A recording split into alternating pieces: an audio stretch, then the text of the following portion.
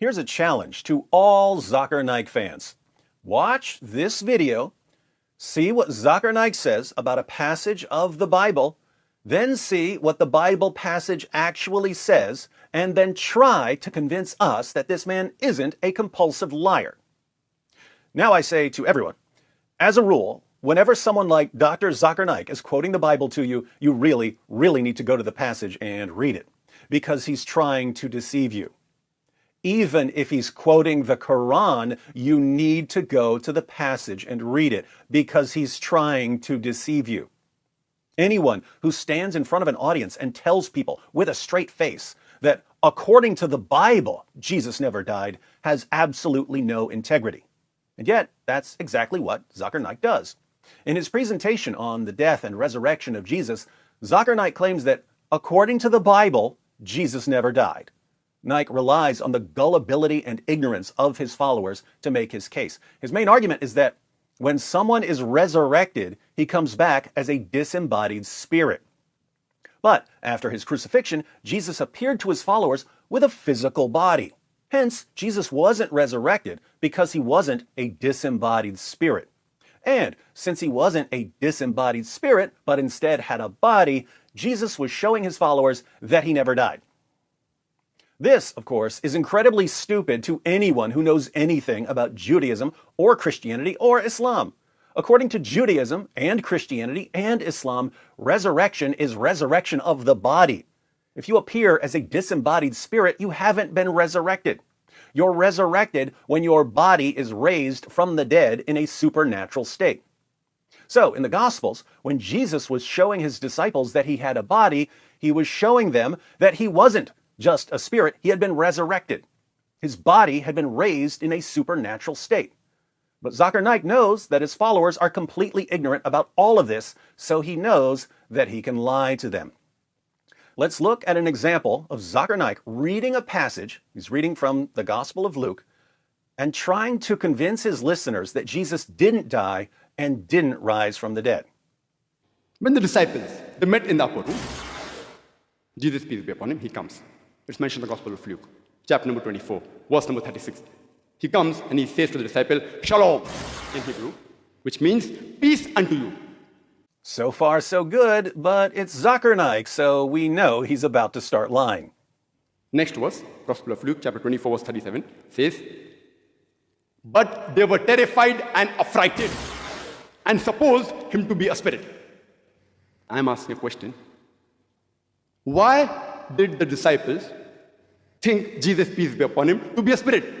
We actually know exactly why the disciples thought Jesus was a spirit. His disciples had no concept of someone being resurrected before the general resurrection of the dead at the final judgment.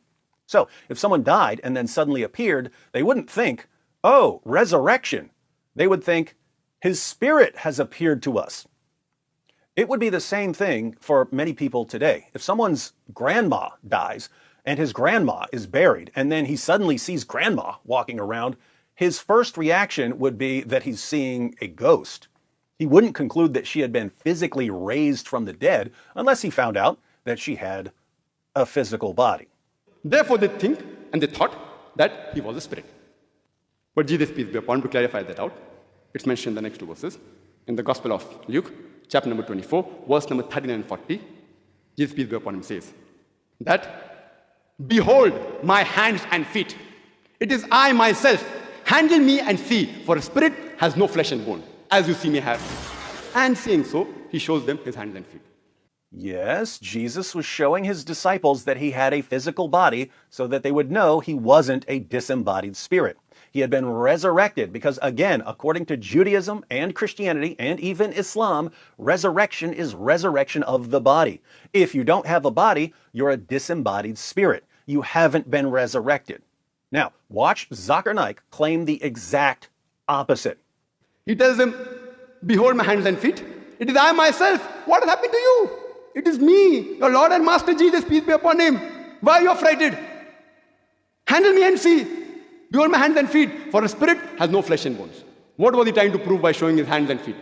He was trying to show them that he had a body and that he had therefore been resurrected. What was he trying to prove by showing his hands and feet? Was he trying to prove that he was resurrected? Yup. Was he trying to prove that he was spirit? He was trying to prove that he was not a spirit. He was not resurrected. Jesus showed his disciples that he had a body so that they would understand that he had been resurrected. Zakir Naik tells his listeners that Jesus showing them that he had a physical body meant that he hadn't been resurrected. Zakir Naik is contradicting Judaism and Christianity and Islam, and he just doesn't care. And neither do his followers.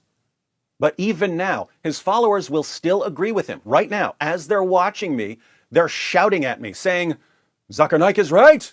Resurrection means you're just a disembodied spirit. Jesus had a body, so he hadn't been resurrected. We know absolutely nothing about theology, but we believe everything Zakir says. They're saying this because they've been psychologically conditioned to agree with anything Zakir says, especially when he's lying about Christianity. But this is where things get fun. This is the part of the video where no one has to take my word for anything because we're going to go to the passage that Zakir Naik quoted to see what Jesus actually said. We're about to find out either that Zakir Naik speaks the truth or that he's a complete, utter, total liar. Here's the passage Zakir Naik was using to show that Jesus hadn't been resurrected and hadn't even died. According to Zakir Naik, resurrection means that you return as a disembodied spirit. But Jesus had a physical body, which means that Jesus hadn't been resurrected. He hadn't been raised from the dead. He hadn't died. He was still alive, and he was trying to show his disciples that he was still alive. Let's read the passage Luke 24, verses 36 to 42. As they were talking about these things, Jesus himself stood among them and said to them, Peace to you. But they were startled and frightened and thought they saw a spirit. And he said to them, Why are you troubled? And why do doubts arise in your hearts? See my hands and my feet, that it is I myself. Touch me and see, for a spirit does not have flesh and bones as you see that I have. And when he had said this, he showed them his hands and his feet. And while they still disbelieved for joy and were marveling, he said to them, Have you anything here to eat?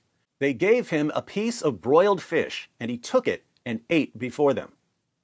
According to Zakir Naik, the most popular Dawagandist in history, in this passage, Jesus is trying to convince his followers that he didn't die and didn't rise from the dead. Now, since Zakir Naik is a compulsive liar and we definitely can't trust him when he quotes the Bible, let's keep reading where he left off, just to make sure he isn't pulling another fast one. The passage continues. Then he said to them, these are my words that I spoke to you while I was still with you, that everything written about me in the law of Moses and the prophets and the Psalms must be fulfilled.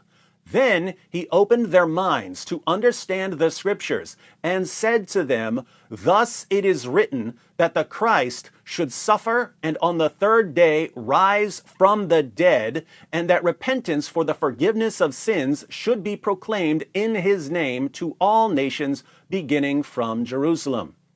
Jesus opened their minds to understand the scriptures. Why?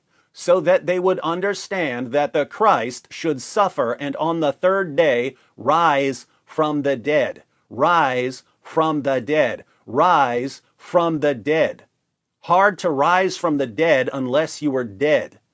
According to the verses that Zakir Naik conveniently left out, what was Jesus doing when he appeared to his disciples? He was showing them that he had risen from the dead and that it had to be that way. According to Zakir Naik, what was Jesus doing when he appeared to his disciples? He was showing them that he hadn't died and hadn't risen from the dead. Zakir Naik tells his gullible followers that Jesus was doing the exact opposite of what Jesus said he was doing. Jesus literally explained what he was doing, and Zakir Naik tells his audience that Jesus was doing the exact opposite of what Jesus said he was doing. This passage in Luke isn't confusing at all. Jesus' disciples had no concept of a dying or rising Messiah, but Jesus died, then appeared to them. That would have been extremely confusing to them. So, to show them that he had been resurrected, he showed them that he wasn't a ghost. He had a physical body. And then he helped them understand that according to the scriptures, it had to be this way. Zakir lies about all of this and pretends that Jesus was trying desperately to convince his followers that he hadn't died at all. If that was Jesus' intention, he failed pretty miserably because his followers concluded that he had been resurrected. Jesus explained to his followers that he had to die and rise from the dead. But Zakir conveniently leaves that part out because it completely destroys everything he's saying to his gullible audience. Now tell me, all you Zakir Naik fans, what kind of man reads a passage which clearly says that Jesus had to rise from the dead, but conveniently leaves out the part where Jesus clearly says that he had to rise from the dead, and then twists the rest of the passage to make it sound like Jesus never died and never rose from the dead. What kind of man does that? A liar, a deceiver, a con artist, a charlatan. So the only question now is, since it's so easy to see that Zakir lies whenever he talks about Jesus, since all you have to do is just read the passage to see that Zakir is lying, why has Zakir been your hero and your champion for decades? Why doesn't it bother you that all of your most popular apologists are liars, deceivers, con artists, charlatans? What does this tell us about your religion? It just backfired on you. It just backfired on you. This is a part of religion. There's a reason to it. Yeah? Yeah? Yeah?